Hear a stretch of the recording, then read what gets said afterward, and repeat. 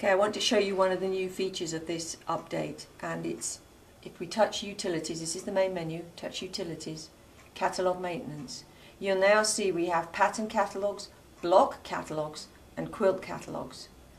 Um, block catalogues is a new one so we can save blocks uh, and let me show you how to do that or why you might want to do that. So I'm going to go back to the main menu, design sew quilt, start new, block pattern, and I'm just going to enter a rectangle manually.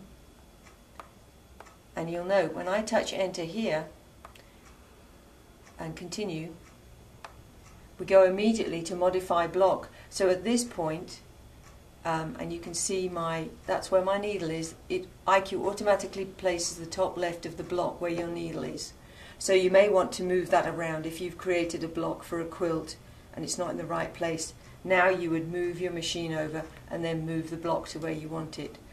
Um, alternatively, if you placed your machine at that top left corner, you know, it'll place it there right away. So now we're finished and I'm going to place a pattern in my block.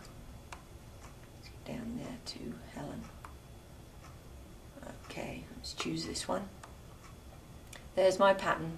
I'm going to scale it down Okay, now I'm finished. And now I'm going to, um, I want to put background fill or echoes around this. So I'm finished with my pattern. Add edit block, add block, standard block. I'm going to, and I'm going to create a pattern contour. So I'm going to create the contour of this pattern. So I'm touching that, I'm touching the pattern.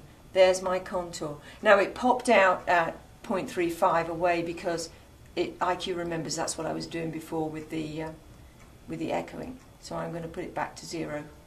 So it's really hugging the edge of that pattern. So there's my pattern contour.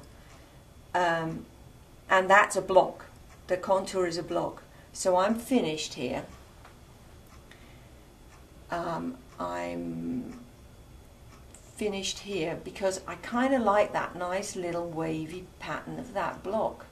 And I think that might be a good one to save for future use. So I'm not going to do anything here. I'm going to touch finished. I'm going to touch save quilt pattern. I'm going to save a block from the quilt. And you can see the block has all these little reference points. So that's the block I'm going to save.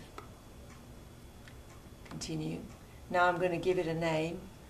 Uh, one, two, enter.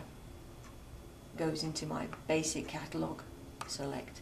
And now IQ's got that catalogue, that block in the catalogue, so I can draw it up, you know, pull it up for any, any other purpose. Um, so um, that's kind of a nice new feature to have block, be able to save blocks as well as patterns and whole quilts. Um, so that's a little bit about that new feature.